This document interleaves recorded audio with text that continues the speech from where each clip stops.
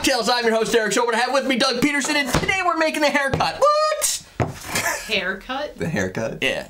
So I need one. You want to give me one? I think it's Simon. It's not. Yeah, it must be Simon. It's just spelled weird. Um, S I M E O N. Oh, I love that. Simeon. Simeon. I like Simeon. It sounds so much cooler. It does. sounds like you were holding like a battle axe. Yeah. I'm Simeon. Or that's the type of battle axe it is. It's a Simeon. Behold, Simeon. I saw The Hobbit. Warple, you saw the Hobbit. Yeah. It was, Congratulations. it was a lot better than I thought it was going to be.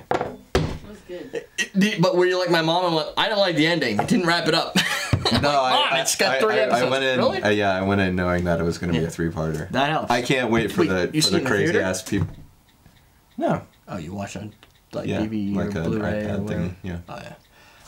I watched Jurassic Park 3D. We went and saw this. Oh yeah, I saw that. How was it? You saw it, or you saw that it saw was that there? you.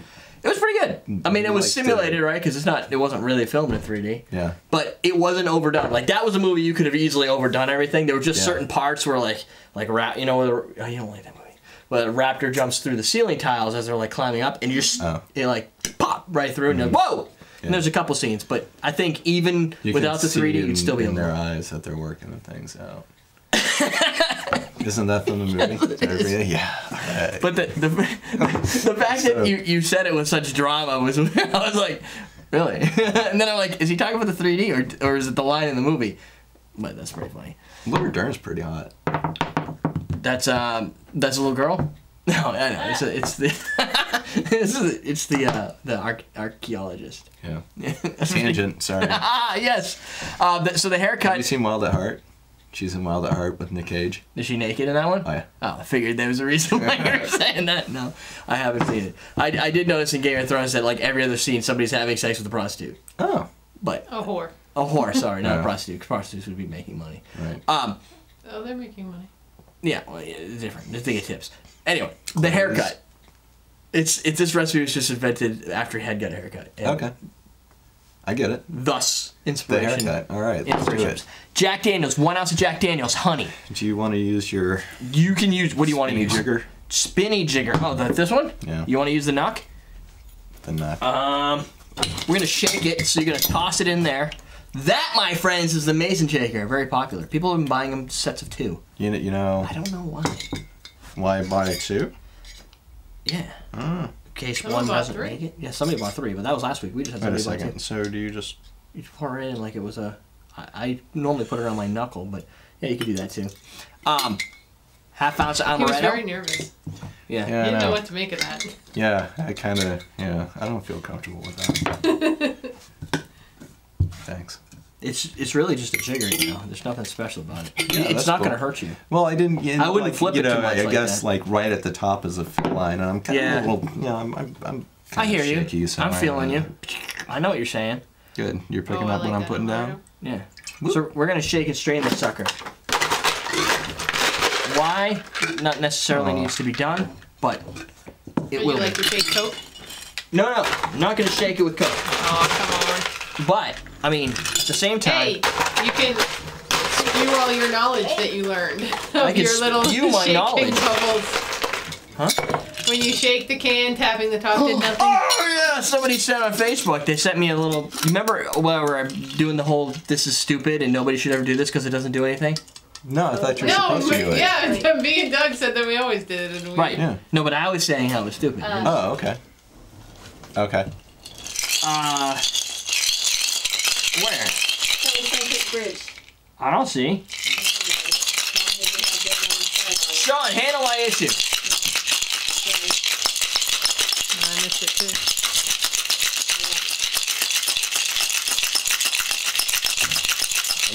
Is that enough? That's good. So, anyway. Oh, I feel it. So, if you tap like this, Yeah. doesn't do anything. So somebody sent a link. It said if you tap this way, Yeah. that does something. This does nothing. This knocks the bubbles back into the into the liquid, and then it, and then you can open it again. But you have to go all the way around, right? Ah. Then they said, oh, but if you do it with diet, the bubbles bounce to the other side, and you can't do that specific thing. It only really works in regular. So we're gonna put ice. don't you have a massive ice cube for that glass? Wow. Wow, is this scripted?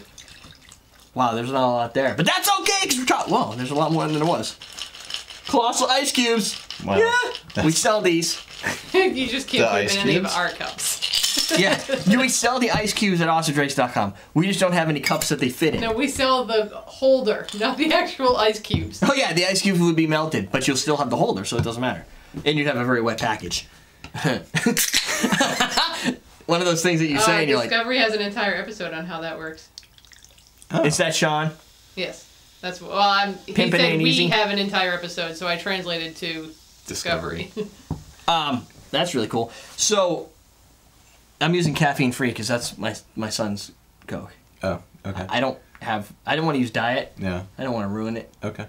Um, if that's ruining or not, I don't really know. But big ice cubes. I have. I've worked out by next week. I should have a glass that will hold these ice cubes. That holds it. This we don't sell Not in in the our store. store. But we sell the ice cubes, so our ice trays. So I, I'd like to be able to have something that somebody could buy that they could put them in because they're friggin' huge. Mm-hmm. And the it has to be I, I can't remember what the width. is. Well, these are two inch ice cubes, so you need at least that, at least Yeah. to be able to fill that thing. Yeah. So this is the one that Eric had sent us with the Everyday Drinkers logo on them. Okay. So I got something similar to this, a little bit bigger, Okay. But it works, right? It does. this ice is awesome. One big ass piece of ice. I know. Is this still the haircut? Yeah, I haven't started Yeah. yet. Yeah, I know. That was my fault. The movie tangent. What Yeah. are you like? Sensitive or something? No, it Yeah, wasn't. I just It was my fault. Now you're just like, oh, I know it's my fault. It was my fault. And I caught myself. And I was like, all right, let's get back to the drink. Uh, it- it- John's saying you don't have to tap all the way around. Right. Okay, maybe I was wrong on that one. Maybe they'll all. Um, Maybe In any just to case. lick it. tapping on the top doesn't do anything. What's the measures? One ounce JD honey, half ounce amaretto, topped with Coke. Oh, this is gonna be awesome. I like how we've been doing this. You would think. and she just now. So But not so much. I don't know. It has a funky taste. funky Cold Medina. No, it tastes fine. I mean, you mean like that bourbon, like that, like that hu- vanilla honey oak drawing out of that out of the soda. Tone oak, but yeah. Don't know, kiss.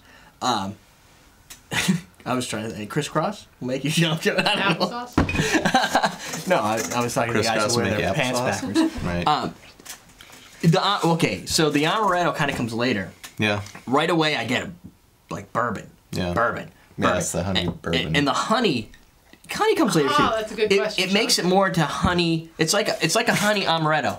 This is like sourdough amaretto, by the way. Uh, amaretto is Shira. See, people were yelling at me because I didn't tell Well, them what one of the ingredients was. Tastes a little bit different too than other amaretto. That amaretto does. It tastes like amaretto. Right, but I'm just saying. Yeah. Like you could, if you used say Diamore Mhm. or Diamore, however you want to say it, it would probably have a little bit different taste. It's it's really a three part series. You get all those flavors. Yeah.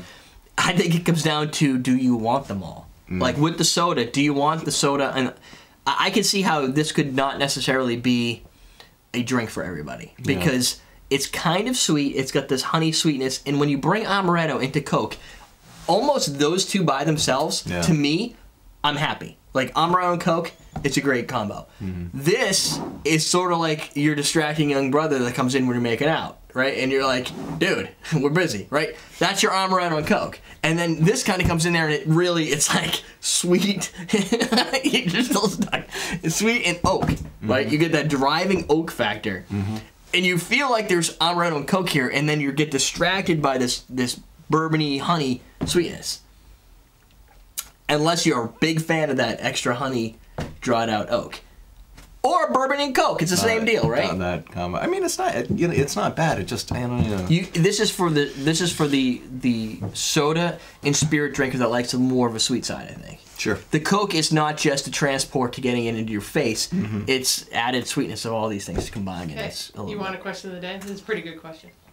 I want a question of the day, and UStream is going to give it to me. What weird things do you do on a daily basis because you believe it has a certain effect without actually knowing? Okay. I.e., tapping cans, slapping the bottom of a jar to help open it. Are you serious? That doesn't help open it because I think it does. What? Slapping the bottom of the jar to help open it. Like that? Yeah. I always do that. Yeah. Does that not help? um, I always. Uh, it's got to do something. I put on underwear. Okay, what, what do you do every day? What effect does that have? Yeah, I don't know. It keeps everything in the pants. I guess. What do you And do you every don't know day that? that you do out of habit, almost out of I ritual? mean, it, nothing would spill out of my pants anyway. It's just like an extra. I mean, if your penis turned to liquid, that would be a problem. But Since that doesn't typically happen, there's no need to worry. I knock on the I I bathroom think door have to even be- though the light is off and no one else is home. I guess I hope if there's any spiders or There- monsters, it'll tell me there isn't Hang on. what do you do that is habitual that you feel that you don't even really know if it does anything? Knocking on wood.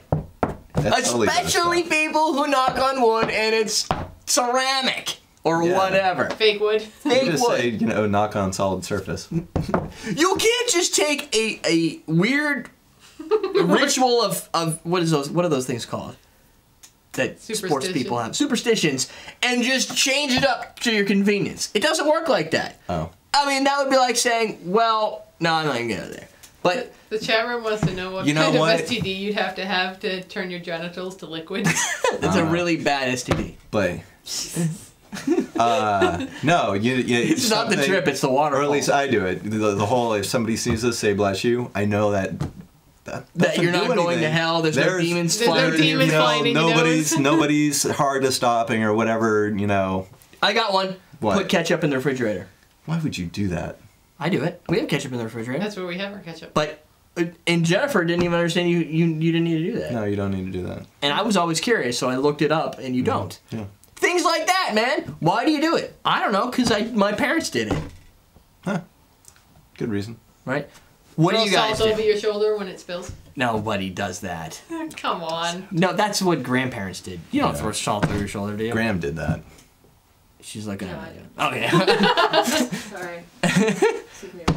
Yeah. So there. Think of that. Think of yours and write it in, cause I'm sure some of them will be pretty freaking hilarious. Yeah. We're done. EverydayDrinkers.com. Awesome drinks for some of the stuff here. Teach you how to drink.